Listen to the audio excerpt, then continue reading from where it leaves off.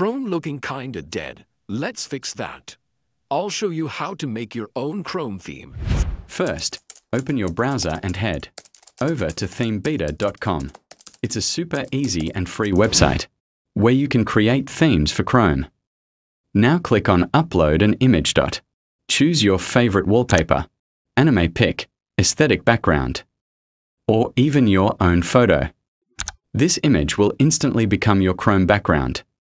Once the image is in, you'll notice how the site automatically places it. You can move it around, resize, or adjust until it looks just right. Next comes the fun part Artist Palette, customizing colors. You can change the color of tabs, background, search bar, and toolbar. Try matching them with your wallpaper to make it aesthetic. When you are satisfied with the look, scroll down and click Pack and Install.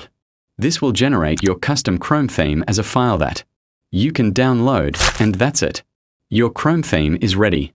But wait, how do you actually load and apply this theme in Chrome? Thinking Face don't worry, I'll show you step by step in part 2. Rocket